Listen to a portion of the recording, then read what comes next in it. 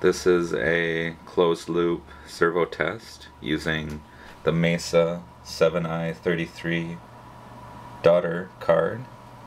This is actually plugged into the 5i20 that is plugged into the PCI slot of the computer. Don't pay too close attention to the wiring.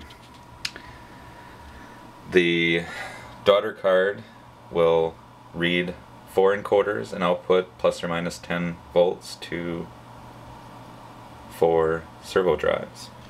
I have one hooked up. It's an advanced motion controls 15 amp peak servo amplifier and a little old Pittman servo that has a 500 line encoder attached to the back. So the encoder is hooked into the 7i33 card and the 7i33 card outputs plus or minus 10 volts to the servo amp.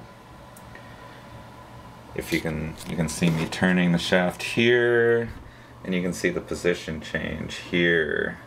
So the encoder counts are getting back to EMC. You can see the cone moves a little bit too.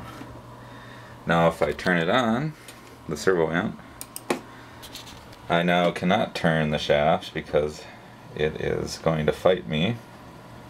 And I can also jog it around.